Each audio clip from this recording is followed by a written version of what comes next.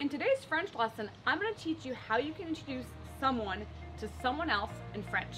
In case you don't know me, Rachele DeMeo, your native French instructor from Belle Terre Academy.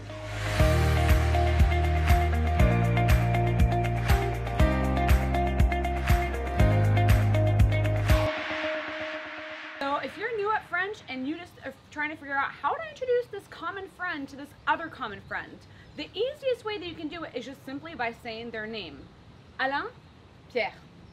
Pierre, Alain. See, it's so simple and so easy, right? So you could technically just do that anytime you introduce different friends. You could do that, even if it's a group of friends or a couple of friends. Patrick et Anna, Bruno et Laurence. Bruno et Laurence, Patrick et Anna. So you could easily do it that simply if you're learning French and you're new at this and you're just trying to figure out the simplest way to do it. But let's dive in a little bit more to the grammar and the phrases that you would want to use if you're trying to do it properly, so to speak. You can simply say, je te présente, je te présente. Literally, I'm presenting to you. So I'm introducing you to. Donc, par exemple, Pierre, je te présente Marie. Marie, je te présente Pierre. So that's way number one. Before I tell you way number two, give me a thumbs up if you like this video, if you're early, already learning something out of it, and please subscribe to the channel. The second way that you can do it is if you're talking to either a person that you don't know that well, that you're still using that vous form we've been talking about for a few weeks now, or to two people or more. Je vous présente.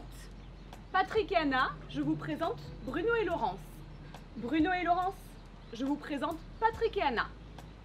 Donc, vous. And then if you're trying to figure out like how you would say, well, how do you know such a person? You could easily say, comment connaissez-vous Patrick et Anna, par exemple. Comment connaissez-vous? Or, if you're talking to one person or a person that you know well, comment connais-tu Pierre? Ou tu connais Pierre comment? If you're trying to figure out the word placement with questions, you're going to want to watch this lesson next.